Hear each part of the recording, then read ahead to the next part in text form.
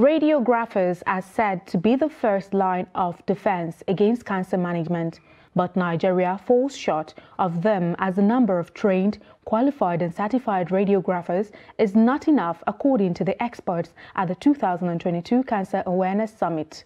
By International Atomic Energy Agency standard, Nigeria needs a minimum of 3,000 radiotherapists and many more diagnostic radiographers. However, we currently have less than 1,000 in the country from records available to us. I wish to urge the registrar and his team to work with the ministry and other relevant stakeholders to address the radiotherapy and radiodiagnostic manpower needs of the country.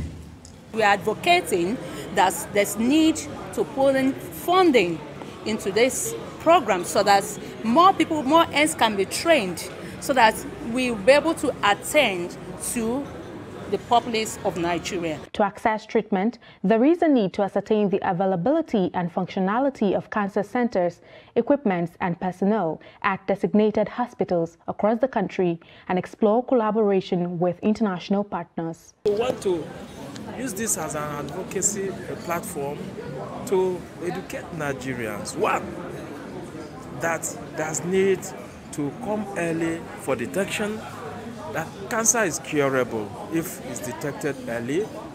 Use the same platform to appeal to government to provide incentives for cancer patients throughout Nigeria, such that anybody who suffers cancer will not find himself being seen as having gotten a death penalty.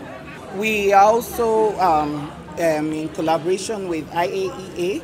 They come in because this um, this medical team and this work is all about teamwork, and we have a lot of professionals we work with and other international agencies. But the awareness and collaboration here in the country is still not as is expected to deliver the services to the poor masses, to the indigent patients, because it's all about global effects of, of what we do. The Federal Ministry of Health assures of provision of cancer centers and equipment installed at each teaching hospitals within the six geopolitical zones of the country to enable easy and adequate access to care and treatment by cancer patients while working on strengthening the manpower needs of diagnostic radiographers and radiotherapists.